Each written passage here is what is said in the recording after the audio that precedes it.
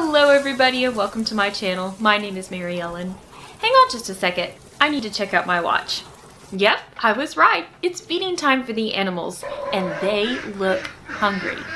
Some of these animals are domesticated and others are wild, but they are all an important part of the animal kingdom. They each have their own special food chain. A food chain is the feeding order of the organisms within an ecosystem. All food chains start with producers. Plants are in this category because producers utilize a process called photosynthesis to create their own food. Next comes the consumers. There are three different kinds. First are herbivores, which are animals that only eat plants. There are also carnivores, which are animals that only eat meat. And omnivores, which are animals that eat both plants and animals. Finally, we have our decomposers. Examples of decomposers are bacteria, fungi, and worms. When a plant or animal dies, the decomposer breaks it down into the soil so new plants can use their energy. So, energy just keeps getting reused. If any part of the food chain gets broken, then it hurts the entire chain.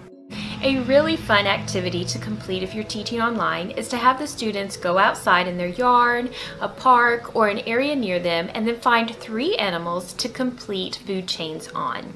I already showed you a food chain that I completed and then here are two more examples that were done by a student on a duck and a chicken. As we pull out and see the larger picture of how all of these animals work together, this is called a food web. So our next step in our activity is to take the three food chains from our chosen animals and create a food web.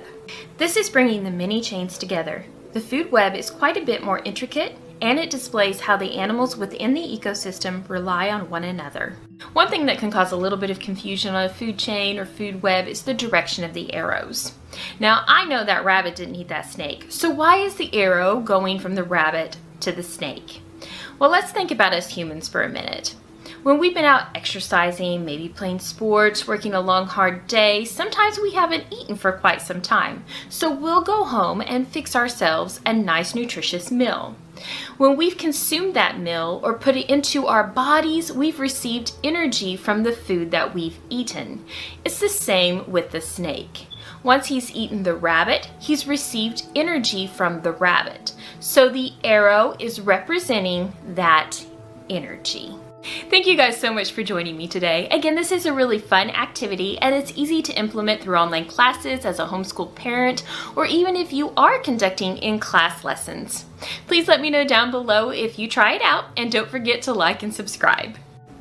Thank you so much for watching. And remember to be proud of your work, productive in your day, and positively joyful.